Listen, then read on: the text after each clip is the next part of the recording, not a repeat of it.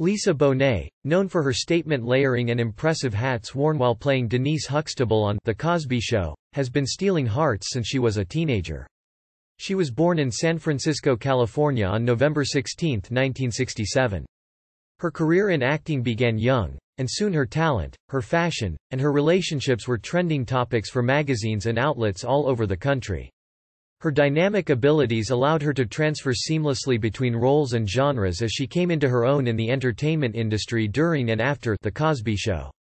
She continues to turn heads as an actor, a style icon, and a mother. Needless to say, she's come a long way in her impressive and transformative career.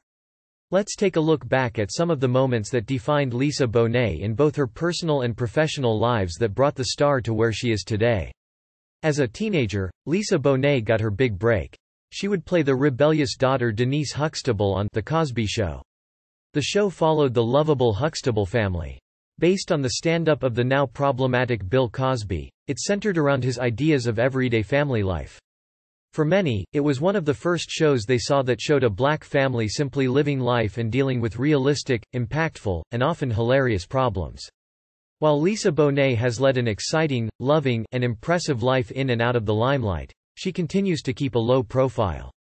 The actress spends her time raising her young children, hanging out with Zoe, and enjoying a long, happy marriage with Jason Momoa. And of course, Bonet, ever the fashion icon, continues to make headlines with her effortless style and beauty.